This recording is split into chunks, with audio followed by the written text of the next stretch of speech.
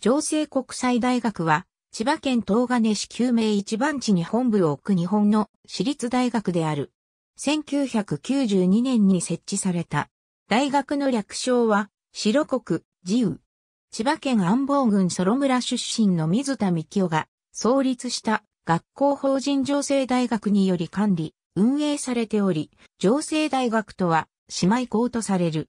キャンパスは、千葉東金キャンパス、東京紀尾井町キャンパス、安房キャンパスの3カ所に設置されており、学部や研究科によりそれぞれのキャンパスで講義が行われている。大学の略称である、ジウは、ジョサイインターナショナルユニバーシティの頭文字を取ったものである。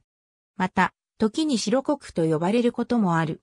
建学の精神、学問による人間形成教育理念、国際社会で生きる人間としての人格形成教員が学生に対してきめ細かく支援するアドバイザー制度を導入していることもあり、気軽に学生が教員に相談しやすい校風である。全体的に実社会を体験することを目的とした教育に力を入れており、インターンシップや海外留学プログラムなどが充実している。産学連携にも力を入れており、大林組、清水建設、富士火災海上保険、高砂熱学工業、ユアテックによる寄付講座を開講している。また、千葉ロッテマリーンズと提携しているほか、2007年に株式会社 ANA 総合研究所とも提携し、エアライン関連のプロジェクトを推進している。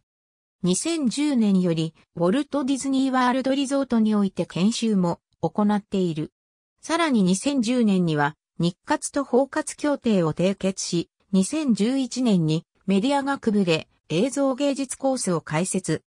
同コースでは日活芸術学院と東京紀尾井町キャンパスにて授業を行う。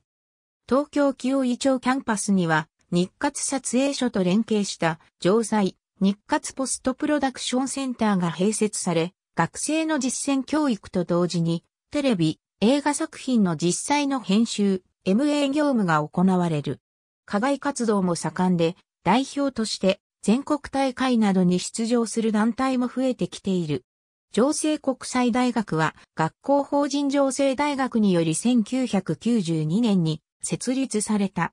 開学当初は経営情報学部経営情報学科と人文学部国際文化学科の2学部2学科で開設された。その後は学部や学科の拡充が相次ぎ、1996年には大学院が設置された。